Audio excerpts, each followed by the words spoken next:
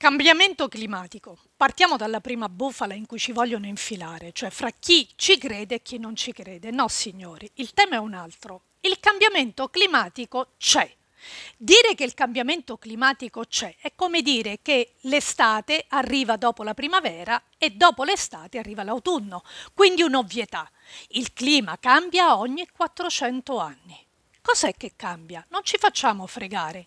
Cambia il concetto di chi lo produce questo cambiamento climatico. E allora sapete, la narrazione universale cioè quella dettata dalle Nazioni Unite, cioè a livello politico globale, è che l'uomo è causa di questo cambiamento climatico.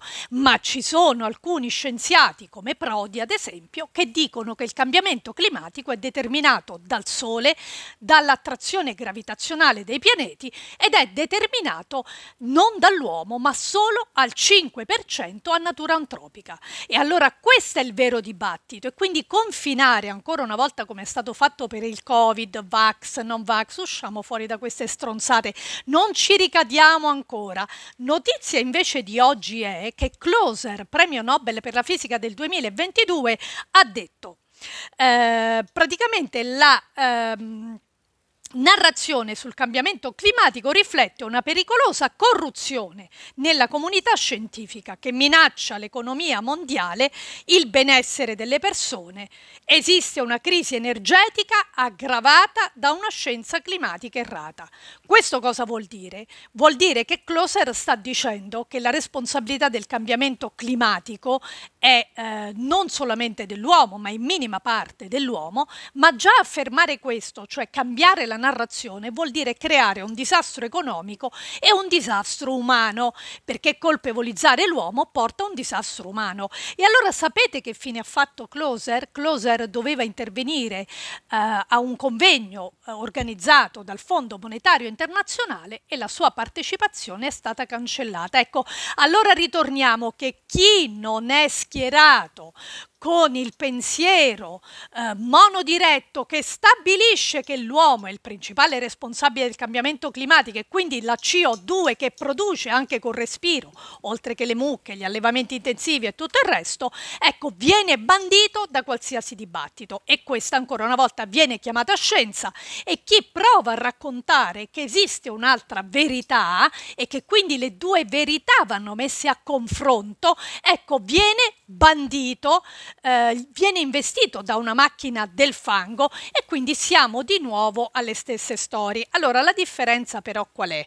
Che Closer, premio Nobel per la fisica, che dice che l'uomo e la CO2 sono addirittura benefici per il clima e per la salute del pianeta, viene bandito dal Fondo Monetario Internazionale. E poi noi diamo retta a chi? Diamo retta ad Angelo Bonelli, che mi dispiace per lui, fa il geometra e quindi non ha le competenze per contrastare scientificamente quello che dice la scienza, che non deve diventare un dogma come lo è stata per il Covid, la pandemia e tutto il resto, e, e dice eh, condanniamo quelli che negano il cambio climatico. No, non ci provare, Bonelli, nessuno sta negando il cambio climatico, chi lo nega sbaglia, il cambio climatico c'è, mi dispiace che assisteremo ad altri 80 anni perché va di 400 anni in 400 anni e l'impennata che si registra, come si dice, ammazza da golf, è un un'impennata di cui non si conoscono ancora le ragioni. Persino gli scienziati dicono che è impossibile conoscere le ragioni di questa impennata, anche perché l'impennata è iniziata ben dopo che si era avviata già la rivoluzione industriale e quindi l'uso del carbon fossile. E allora, tra tutte le bugie del clima, sfatiamone almeno una. Il cambiamento climatico c'è, Alcuni scienziati dicono che è determinato soprattutto dal Sole, minima parte dell'uomo. Tra questi troviamo anche Prodi, che poi allora facciamo la fine di Montagnier. Franco Prodi, Università di Ferrara, ha passato la sua vita fisico dell'atmosfera a studiare il clima e eh, ex CNR, quindi non lo sta dicendo Raffaella Regoli o qualche negazionista, lo sta dicendo uno scienziato. E allora se lo scienziato però dice qualcosa che non ci piace sentire, basta, non cadiamo più nell'inganno, basta con queste stupidaggini, perché poi vedete, mentre veniamo distratti dal clima, l'emergenza, mentre qualcuno invoca addirittura eh, l'esercito per sistemare queste situazioni, ieri sera qui a Milano c'è stato veramente una tromba d'aria pesantissima, una cosa è come reagisce la gente, la gente reagisce già con questa paura, col terrore che sta per succedere qualcosa. Ecco, basta terrore, basta paura. Il cambiamento climatico andrà avanti in questo ciclo per altre più 80 anni, perché va di 400 in 400 e ci sono tante tesi. Una di queste è che le Nazioni Unite, che vengono finanziate anche da privati, come avviene per l'OMS, per redigere questi report che poi condizionano la politica globale, ecco, eh, queste, eh, le Nazioni Unite questi rapporti trovano grandi finanziatori, grandi filantropi.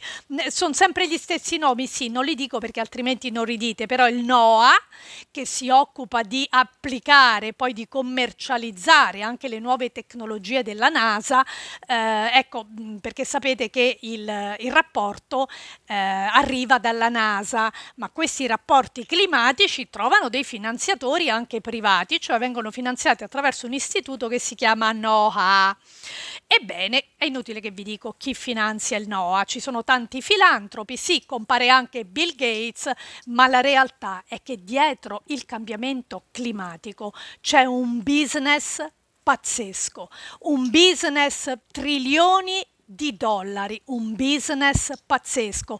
Seguite la linea dei soldi, perché vedete, colpevolizzare l'uomo, ridurlo in cattività, addirittura far scattare le emergenze sociali, ecco, questo è sbagliato. Questo è negazionismo, neg- cioè negare all'uomo il diritto di vivere sulla madre terra.